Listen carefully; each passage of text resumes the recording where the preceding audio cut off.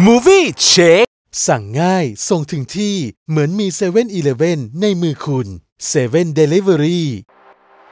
สวัสดีครับ ได้เวลา Movie Shake กับผมวีรวีโรจน์นะครับ ที่จะมาอัปเดตข่าวคราวในวงการภาพยนตร์กันเป็นประจำแบบนี้ทุกวันจันทร์ถึงวันศุกร์สำหรับช่วงนี้เรามาติดตามข่าวนี้กันครับ หลังจากที่เอสรามิลเลอร์ได้มอบหมายให้ตัวแทนออกแถลงข่าวขอโทษต่อพฤติกรรมฉาวต่างๆ ล่าสุดทางผู้กำกับแมรี่แฮรอน จากภาพยนตร์เรื่อง d a l ีแลนด์ได้ออกมาชื่นชม Ezra Miller ว่าเป็นหนึ่งในสุดยอดนักแสดงที่เธอเคยร่วมงานด้วย เธอบอกว่าไม่เคยคิดเรื่องตัดฉากการแสดงของมิลเลอร์ออกจากภาพยนตร์ตัวเต็มแต่อย่างใดซึ่งภาพยนตร์เรื่อง d a l ีแลนด์เนี่ยได้ปิดกล้องถ่ายทำเป็นที่เรียบร้อย ไม่มีเหตุการณ์แย่ๆเกิดขึ้นในกองแต่อย่างใดเหตุการณ์แย่ที่เกิดขึ้นในข่าวที่เราเห็นเนี่ยมันเกิดขึ้นหลังจากที่หนังตัดต่อ และทำทุกอย่างเสร็จหมดแล้ว เธอรู้สึกว่าทุกคนถ่ายทำมันด้วยความเชื่อมั่น Mary Harron ผู้กำกับของภาพยนตร์เรื่อง DalIland เนี่ยได้บอกเอาไว้แบบนี้ครับ ในส่วนของ Ezra Miller นะครับ ตอนนี้มีข่าวคอนเฟิร์มออกมาว่าเจ้าตัวเนี่ย ได้เข้ารับการบำบัดทางสุขภาพจิตและเตรียมพร้อม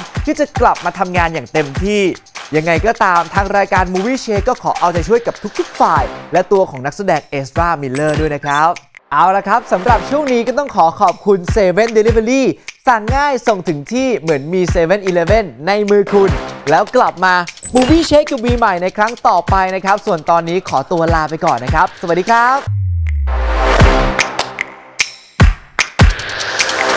Movie Check